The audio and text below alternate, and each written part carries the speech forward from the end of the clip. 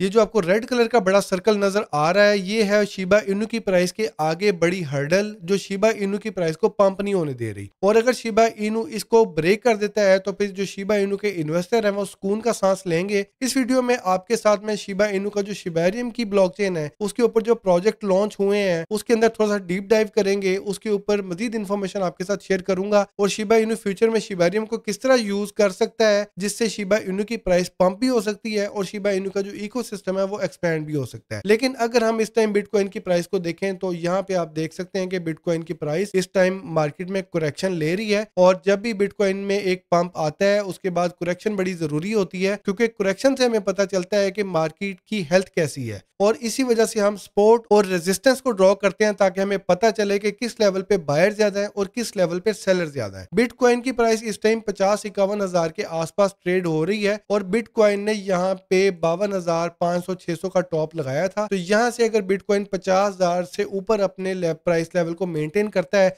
और कंसोलिडेट करता है तो फिर उसके बाद जो इसका प्रीवियस हाई है, जो कि बावन हज़ार सात सौ का है, अगर इसको ये ब्रेक करता है तो बिटकॉइन की प्राइस पचपन और सतावन हज़ार डॉलर का हाई लगा सकती है। लेकिन ऑन द अदर साइड अगर बिटकॉइन पचास हज़ार डॉलर को ब्रेक करता है तो बिटकॉइन का जो पहला स्पोर्ट का लेवल है, वो उनचास हज़ार पाँच सौ के पास होगा। और जिस तरह आपको पता है, आज सैटरडे है और कल संडे है। और कल अगर बिटकॉइन उनचास हज़ार से नीचे क्लोज हो जाता है, फिर उसके बाद जो बिटकॉइन की अगली स्पोर्ट का लेवल है, वो सैंतालीस हज़ार के पास हो सकता है। इसमें एक और चीज़ आपने ख्याल करना है, ये जो आपको ब्लू लाइन नज़र आ रही है, ये बिटकॉइन की फिफ्टी पीरियड मूविंग एवरेज है। और जब बिटकॉइन बिटकॉइन इसको ब्रेक करता है नीचे की तरफ़ तो फिर या तो बिटकॉइन कंसोलिडेट कर रहा होता है या फिर बिटकॉइन में थोड़ा सा बियर प्रेशर भी आ जाता है। लेकिन जिन लोगों ने बिटकॉइन को लॉन्ग टर्म के लिए होल्ड किया हुआ है तो भाईजान आप ये बिटकॉइन का रेनबो ग्राफ देख लें रेनबो चार्ट देख लें, जिसमें हमें ये बता रहा है कि बिटकॉइन स्टिल जो है वो बाइंग जोन में है। और बिटकॉइन की ईटीएफ e के बाद जब सेल द न्यूज़ का इवेंट हुआ, बहुत सारे छोटे वॉलेट्स ने बिटकॉइन को सेल किया और वहीं पे बड़े वॉलेट्स ने फ़ायदा उठाया और वेल्स ने काफ़ी ज़्यादा तादाद में बिटकॉइन को बाई किया। और अगर हम क्वाइन कोडेक्स की प्राइस प्रडिक्शन देखें तो ये बिटकॉइन की अगले पाँच दिनों में बता रहा है कि बिटकॉइन उनचास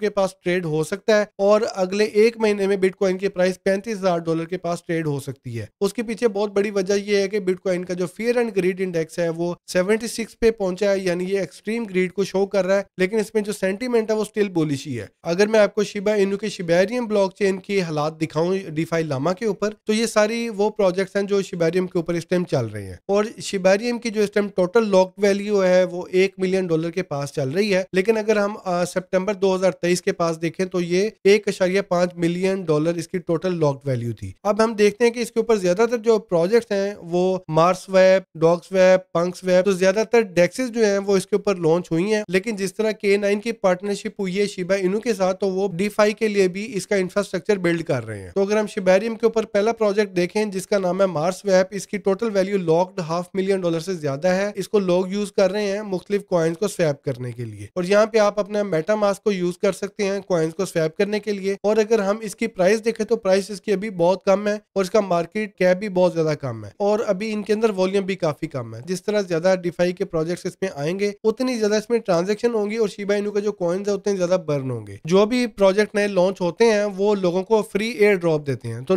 लोग उनकी ब्लॉकचेन को यूज़ करते हैं, उसमें टेस्ट ट्रांजेक्शन करते हैं और जब वो कॉइन मार्केट में लिस्ट होता है, उसके बाद उसको लोग सेल कर देते हैं और एक अच्छा प्रॉफिट कमा लेते हैं। तो अगर ज़्यादा से ज़्यादा प्रोजेक्ट शिबेरियम के ऊपर लॉन्च होते हैं डी प्रोजेक्ट लॉन्च होते हैं मेटावर्स लॉन्च होती है तो उससे फिर शिबेरियम की जो टोटल वैल्यू लॉक्ड है ना, उसमें इजाफा होगा। जैसे जैसे इसकी वैल्यू लॉक्ड में इजाफा होता जाएगा, उतना ज़्यादा इसका नेटवर्क जो है वो स्ट्रॉन्ग होता जाएगा। तो शिबा इनू की प्राइस पंप क्यों नहीं कर रही? उसके पीछे वजह यह है कि शिबा इनू को अब ये मीम कॉइन से बाहर निकालने की कोशिश कर रहे हैं और इसी वजह से इन्होंने शिबेरियम को भी लॉन्च किया ताकि इसके फंडामेंटल को स्ट्रॉन्ग किया जाए। 2024 में जो भी नए प्रोजेक्ट आ रहे हैं, वो अपने एयर ड्रॉप लॉन्च कर रहे हैं और ब्लॉकचेन उसका फ़ायदा उठाती हैं। लोग अपने उसके ऊपर ट्रांजेक्शन करते हैं, लोगों को फ्री कॉइन मिल जाते हैं और प्रोजेक्ट को फ़ायदा ये होता है उनकी ब्लॉकचेन पे बहुत ज़्यादा ट्रांजेक्शन हो जाती है, जिसकी वजह से वो प्रोजेक्ट बहुत जल्दी ग्रो हो जाते हैं। तो अगर शिबाइन को भी शिबेरियम की जो ब्लॉकचेन है फ्री एयर ड्रॉप करते हैं, लोगों को इन्वाइट करते हैं कि लोग उनकी ब्लॉकचेन को यूज़ करें प्रोजेक्ट में स्वैप्स करें तो फिर शिबाइनू की ट्रांजेक्शन भी बढ़ेगी टोटल वैल्यू लॉक भी इसका बढ़ेगा मार्केट कैप भी बढ़ेगा और जितनी ज़्यादा शिबाइनू की ट्रांजेक्शन होंगी, उतने ज़्यादा शिबाइनू कॉइन बर्न होते जाएँगे।